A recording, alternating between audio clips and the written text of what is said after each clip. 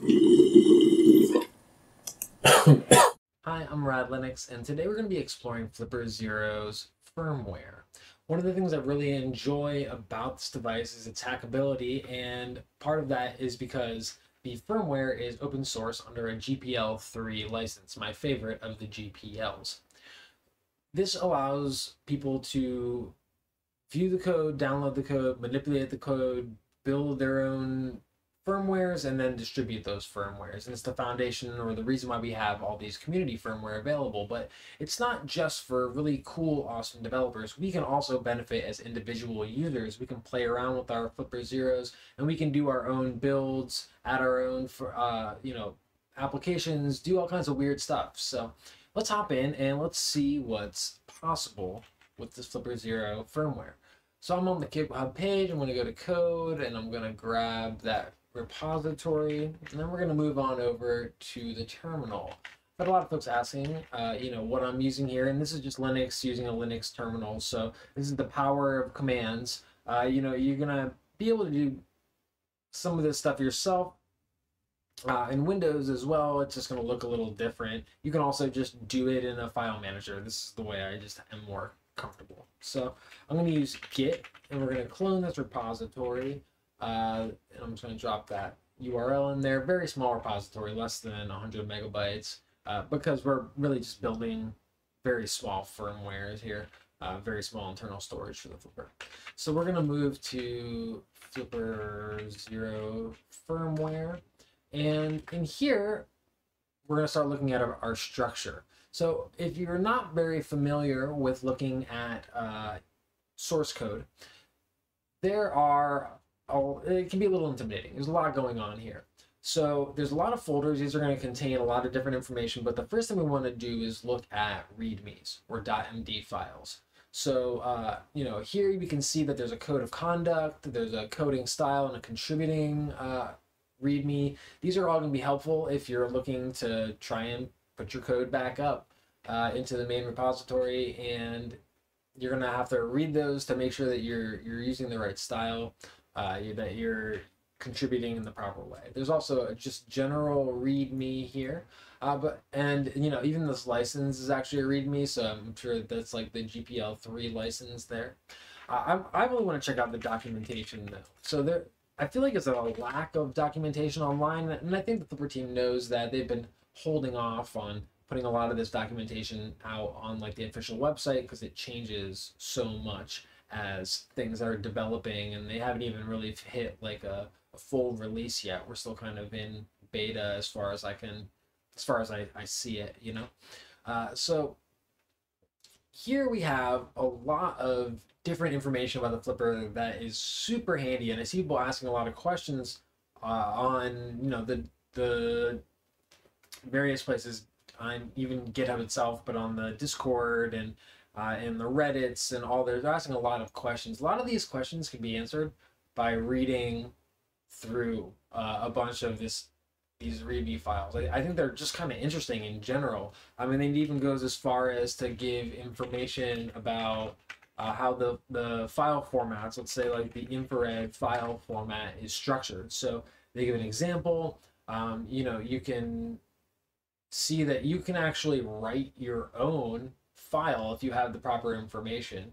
Uh, and it also talks a little bit about adding to the uh, to, to the the universal remotes and, and different stuff. So it's it's pretty cool. There is a lot a lot of good information in here, and uh, it's really helpful stuff. So if you've been having problems and you're a little bit concerned, download this source code. The source code is incredibly small. It's not going to take a lot of space up on your computer, and uh, you'll be able to, you know, find a bunch of really fascinating information.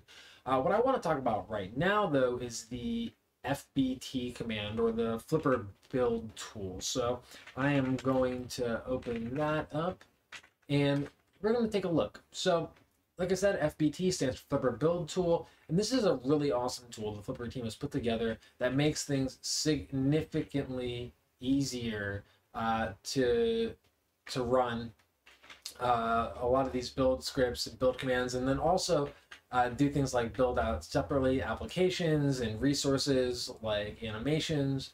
Uh, it automatically will update your, uh, your Git environment for you unless you uh, ask it not to do that.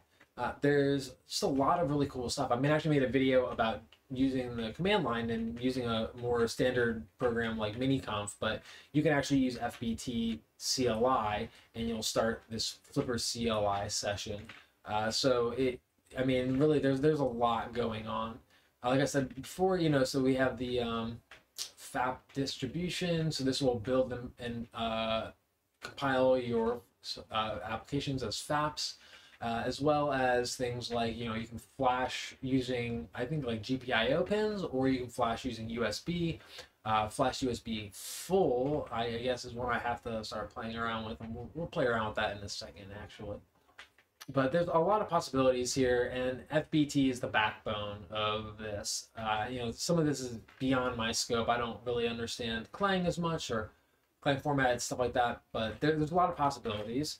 And let's go back here. So let's take a little glimpse at what's going on wow, with, with this with this firmware. And let's see what let's just try something fun, right? So let's go over to assets. This is where a lot of like the, the different animations where the the slideshow I think is like got like the opening scene that comes up when you first uh you know start up your flipper icons are interesting because the icons are actually what build up the majority of the GUI. Uh, you know, it's not they're not flat scenes. That most of the time it's built up of and composed of various um, you know segments. So let's say uh, I, I want today I want to I want to just play around with something. Let's play around with passport because it's an easy one to show off. So here we have the different icons. So we can actually change the icon of our Flipper Zero. Uh, if it's happy, you know, sad, we can customize and create our own little icon, little animation here. And I think that's really fun. Uh, really, uh, one that's a little easier to, to play with, I think immediately is going to be these bottom and left. So what I'm going to do first is I'm just going to rename them and back them up. So I would like to move passport uh, if you're not familiar, to, to rename on the command line is basically you're just moving it from one name to another. Uh, and I'm just going to call that backup. It doesn't matter what it is, it just can't be uh, .ping anymore. And I'm also going to move passport left uh, to passport left dot backup as well. So you can see that those are no longer being recognized as pings, right? They're they're they're a different color. They're not being recognized as pings. Uh, so let's say uh, I just got rid of those, and now I want to go build the firmware. You know, I got rid of those, and so we don't need them anymore. And I'm just going to run the build command. We're going to do uh, fbt flash USB, and I'm going to say, well, why not?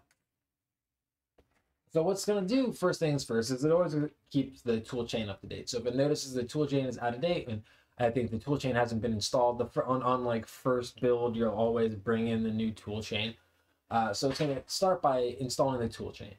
And that's going to take a, little bit of a second. And then it's going to go through and it's going to compile everything that we've created. And this might actually take a minute or two. So, uh, you know, pay no mind and hang out for a second. We're just going to fast forward through this.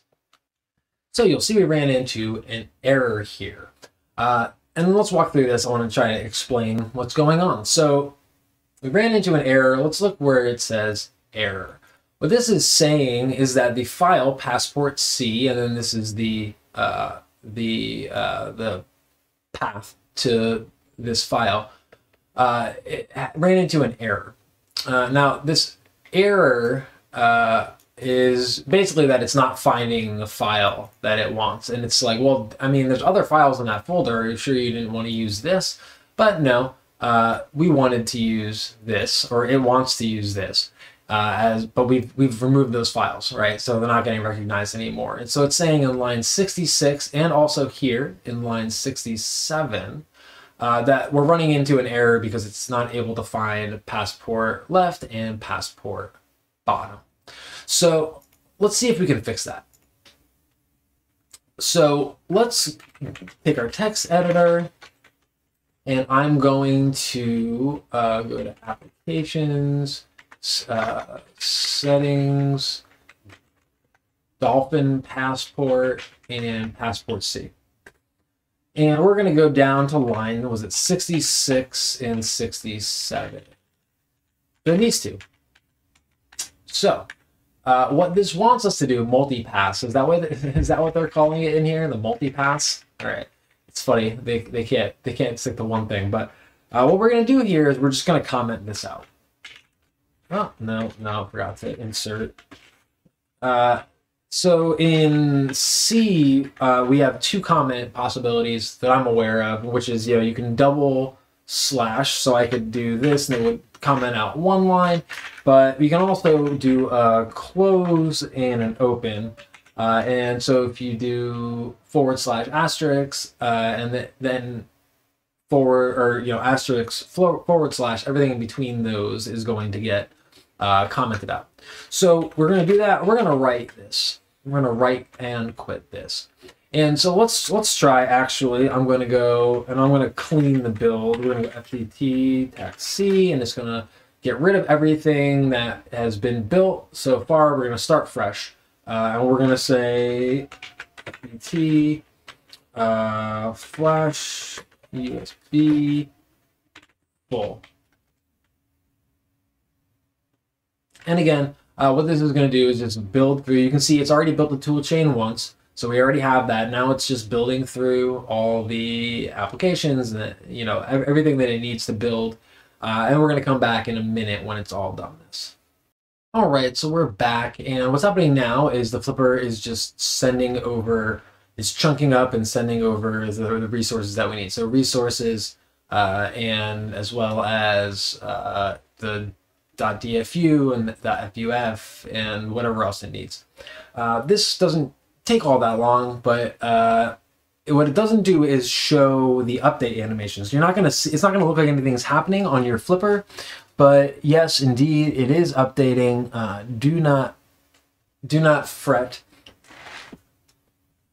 And uh, also make sure that you're on the main menu uh, if you have any applications open, then it will uh, not be able to automatically update or push the update, or I was going to say, like, you know, touch update. Uh, so make sure that you're on the, the main screen. It just makes things easier. And then what it's going to do is it's going to just bring you to the normal update cycle uh, where it's got the up update icon and a little the little uh, bar. So right there, uh, that that uh, touch build install that flag uh, means that it is now going through the process on my flipper where it has the little icon, it's updating, and it has a status bar. And it's just going to update through as it as uh, you know it usually will. And this is going to take another couple minutes. So we're going to fast forward time, and I'm going to come back in a second. So our update has gone through, and we are now on our Flipper Zero. And I'm going to quickly hop over. We're going to use the right key. And now you can see that the, the standard framing of the passport has changed. And um, that's because I've been able to manipulate this firmware to change the, the fact that it even asks for those images. Uh, now I'm going to go back and we're going to flash uh, something different in there. We're actually going to add an image. Uh, and this is not going to be a pretty, a pretty site, but we're going to add an image back in. So I'm going to switch back over to the terminal and we are going to go back and we're going to fix what we've done in a certain sense. So the first thing we're going to do is I'm going to change that file uh, that is settings and I believe Dolphin Passport and Passport. So we're going to change the C file. We're going to go back to lines 66 and 67. And what I'm going to do is actually, I'm going to delete that and I'm going to, no. We're going to uh, insert comment there and I'm going to just comment out the passport bottom. Uh, so we're going to leave that commented and I'm going to go and I'm going to add a file from someplace else. So I'm actually going to copy a file from my home directory under a different folder, uh, and we're gonna update this. We're gonna send this. Uh, we're gonna move that over. Okay, so now let's go to uh, assets, icons, and passport. And we're going to look at this and we're going to see that we have a new frame here. And what I'm going to do is I'm going to move that frame or rename it basically passport left. And we're going to just get rid of backup. We're just going to name it passport left. So this is the, the file name that it's expecting. Uh, and you can see now that we have uh, a new version of passport left uh, over here. And we're going to rebuild and reflash that firmware again. So I'm going to this time try to uh, just, we're not going to do a full update. I'm just going to do FBT flash USB. And I think this is going to like not push like resources and stuff. It's going to be a little bit of a lighter upgrade. Uh, it's only going to build some of the, the necessary stuff. So we're going to take one second. I'll be back in a moment. Hmm. Oh, okay, so now I'm running into an error because the device is busy, uh, meaning that I still have the qFlipper app open, and so it's not going to be able to uh, automatically run. I, I think, ooh, let's try it one more time. Uh, it might just tell me that everything is already on there, uh, and then it, it might not manually or automatically start the, the pro. Okay, here, here we go. There we go. So yeah, so the the the TTY was already being used. So now we're going to move on. It's going to flash over the new .fuf, .dfu, and uh, .tar. I don't know, something else. It's going to send over one more thing, I think. Uh, and then it should manually or automatically start the firmware update process. There we go. Okay, so we're updating. Uh, hopefully this one won't take too long to do. So we're back on the flipper and we're going to check out the passport again. Aha. Now this time I have, uh, I didn't even know exactly what image this was going to be, but you can see I added a new image. Now obviously this is not set up to look nice or be cool or, you know, be like a functional addendum, but this is just to show that you can put whatever image in there you want. Uh, and it will build that and throw it in there. Uh, if, if I had replaced the bottom instead, it would have uh, only started drawing from from that kind of spot right below the icon. So it would have just given us uh, ostensibly uh, just the top portion of this drawing or image. But yeah, so you can see we've made a, a mild modification to our Flipper Zero. So, you know, I hope that this is at least a starting point for you. This is a starting point for me, honestly, uh, in terms of getting down and dirty with customizing your own firmware, playing with it, uh, not necessarily to create new firmwares, new community firmwares, uh, but you can do stuff like just kind of create your own custom experience, something that's better for you as the individual user. And you can do this with honestly any of the community firmware as well. I could go and take RogueMaster and, uh, you know, take the source of that and alter it and change it in ways that make me feel better uh, about whatever it is, uh, whatever whatever's more comfortable with for me, uh, or whatever I, you know, change different functionalities of the device. So thanks for hanging out. Sorry this was a little bit of a longer one, uh, a little bit uh, lower level stuff to to discuss, but. Uh, you know, I, I just think that it's fun that we can do this kind of stuff, and I think it's it's cool, and it's uh you know it's a way to get yourself into learning some C, learning uh, some Python. There's a lot of uh, Python involved in here, understanding how JSON works. There's just a lot. There's a lot possible here, and I, I think that this is where a lot of the learning can really occur. So, if you enjoyed it, you know, hang out, have a you know more videos to watch, uh, and you know, thank you so much for sitting with me. I really appreciate it.